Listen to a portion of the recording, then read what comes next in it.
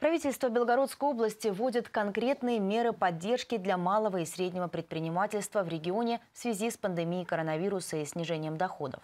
Сегодня состоялось первое заседание областного штаба по повышению устойчивости экономики региона. Его возглавляет губернатор Белгородской области Евгений Савченко.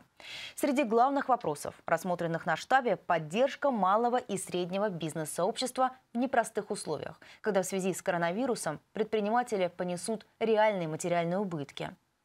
Так, малому и среднему бизнесу в России в два раза снизят размер страховых взносов с 30% до 15%. Такая пониженная ставка распространится на зарплату, превышающую МРОД. Причем эта мера вводится надолго, чтобы простимулировать работодателей повысить зарплату своим работникам.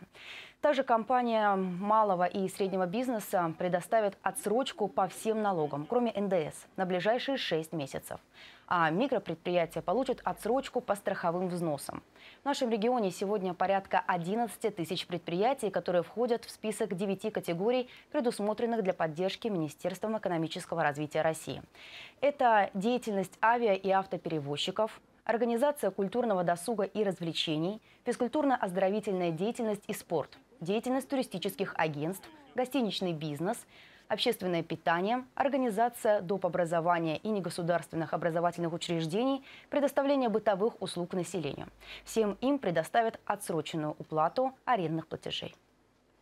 Мы понимаем, что часть вот таких арендуемых помещений, они будут оставаться в работе, потому что не запрещено торговать, как вы знаете, продуктами питания, э, иными э, отдельными товарами и продукцией. Но большинство по э, требованиям санэпиднадзора должны быть закрыты. То есть они не будут работать. Не будут работать, значит, не будут приносить доход владельцам.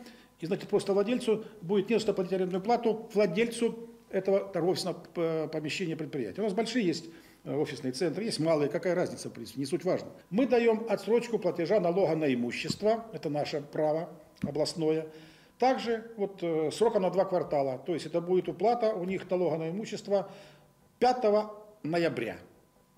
А сейчас бы они платили бы 5 мая и 5 августа. То есть вот такая больше, чем на полгода отсрочка. Но в обмен на то, что они такую же отсрочку платежей дадут по арендной плате своим арендаторам.